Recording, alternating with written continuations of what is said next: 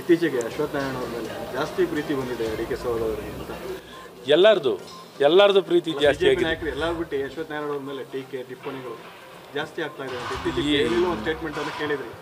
ಈಗ ನೋಡಿ ಸಿದ್ದರಾಮಯ್ಯವರು ಸಹ ನಿರಾಧಾರವಾಗಿ ಹೇಳಿಕೆ ಕೊಡ್ತಾರೆ. ಈ ಅಣ್ಣ ತಮ್ಮದಿರು ಕೊಡ್ತಾರೆ. ನಿರಾಧಾರವಾಗಿ ಕೊಡ್ತಿದ್ದಾರೆ. ಸಿದ್ದರಾಮಯ್ಯನವರು ರಾಜಕೀಯ ನಿವೃತ್ತಿಯನ್ನು ಹೊಂದುತ್ತೀನಿ ಅಂತ ಆಗ ಅವರು ಯಾವಾಗ ಎರಡು ಸಾವಿರದ ಹದಿಮೂರರಿಂದ ಹದಿನೆಂಟು ಮುಖ್ಯಮಂತ್ರಿ ಆದಾಗ ಮೊದಲೇ ಹೇಳಿಕೆನವರು ನಾನು ರಾಜಕೀಯದಿಂದ ನಿವೃತ್ತಿ ಹೊಂದುತ್ತೀನಿ. ಐದೇ ವರ್ಷ ಸಾಕು ನನಗೆ. ರುಚಿ ನೋಡಿದ್ರು ಅಧಿಕಾರದ್ದು. ಐದು ವರ್ಷ ಮಾಡಿದ್ದು ಏನೂ ಇಲ್ಲ.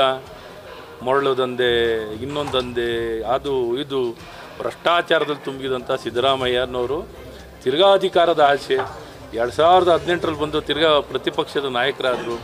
ತಿರ್ಗಾ ಅಧಿಕಾರದ ಆಸೆ ಈಗಲೂ ಆಸೆ, ಎಪ್ಪತ್ತೈದು ವರ್ಷ ಆಚರಿಸ್ಕೊತಾ ಇದ್ದಾರೆ. ಬೇರೆಯವ್ರಿಗೆ ಅವಕಾಶ ಅವ್ರ ಪಕ್ಷದಲ್ಲಿ ಯಾರೂ ನಾಯಕರಿಲ್ಲ. ನಾನು ಒಬ್ಬನೇ ನಾಯಕ ಅಂತ ಓಡಾಡ್ತಿರೋವಂಥವ್ರು ಸಿದ್ದರಾಮಯ್ಯನವರು. ಇಂಥವ್ರ ಪಕ್ಷ, ಕಾಂಗ್ರೆಸ್ ಪಕ್ಷ.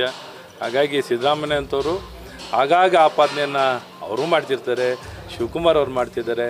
ಸ್ವಲ್ಪ ಅನುಭವ ಅವ್ರ ವಯಸ್ಸಿಗ್ನಾರ ತಕ್ಕನ ಹಾಗೆ ಹೇಳಿಕೆ ಕೊಡೋಂಥದ್ದು ಮಾಡಿಕೊಂಡ್ರೆ ಅವ್ರಿಗೂ ಒಳ್ಳೆಯದು ಅಂತ ನಾನು ಈ ಸಂದರ್ಭದಲ್ಲಿ ಇಲಾಖೆ